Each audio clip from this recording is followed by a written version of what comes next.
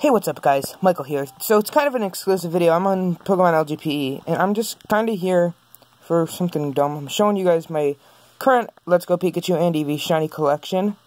I have to actually sort the box so I can get my shinies up on top, so let's bring right up there. So, let's just...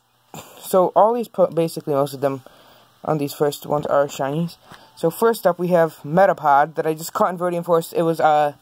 I had a 31 chain for Nidoran, and I was, you know what, I had been hunting for this thing for 5 hours at least, and I was like, you know what, I'm just going to go to Viridian Forest for 10 minutes, and if I don't get it within 10 minutes, minutes I'm just going to try to start the chain for something, and I, 4 minutes left on the counter, this is what happened. Next up is another Metapod, actually. No, this is not the one. This is the one that was from that. This one, I forgot exactly where it came from. Oh, no, it's from a random encounter Caterpie that I found. Next up is this shiny Butterfree, which came from a 31 catch combo on a Caterpie. Next up is a Beedrill, which I, this is I think my second ever shiny in this game. I was hunting for, I forgot which Pokemon, but a Kakuna popped up and I decided to just take it. I hate those little junk beans. Hey, can you stop talking about Cuphead, please? This is Pidgeotto. Uh, this is from a random encounter shiny Pidgey, and I will kill any other Pidgeotto or Pidgey that ever come into my screen again. And there's the Pidgeot, which was my first ever shiny in this game, and I named it Burb. And yeah, it was my first ever, I caught it, and I just checked the stats on it, they're pretty good. So yeah, next up is Peaches, the Raichu, which I caught it off of Pikachu, and it was a pretty, actually, quick chain on this one. Let's check the stats on this one, actually. So yeah, pretty good.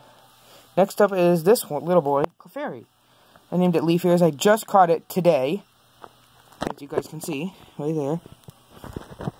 And yeah, it's got really good stats. And it was not even a 31 chain. I was just, it was an 18 combo I caught this at.